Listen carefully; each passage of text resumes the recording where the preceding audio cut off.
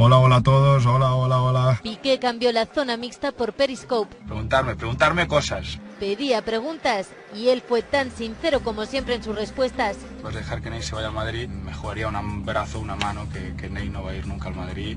Eh, le gusta muchísimo Barcelona, está enamorado del club, creo que, que se va a quedar aquí por muchos años. Esta era su manera de interactuar con sus fans. Joder, qué difícil esto. Va súper rápido. Y tanta rapidez le hizo hasta tener algún desliz. ¿Cómo te siente la victoria del equipo? Tres puntos más que nos dan, nos dan la liga o parte de la liga. No dudó a la hora de hablar de sus preferencias entre el United y el City. Eh, irás al City con Pep. Mi amor por el United es demasiado fuerte para, para ir al City, a pesar de que Pep es un gran entrenador. Pero no fue tan contundente al ser preguntado por Pep y Ferguson. Both are really, really good. Además dejó entrever que al final de su carrera le gustaría jugar en otra liga. Me gustaría obviamente ir a Colombia por, por. Participó de las bromas sobre los puntos que separan al Barça y al Madrid.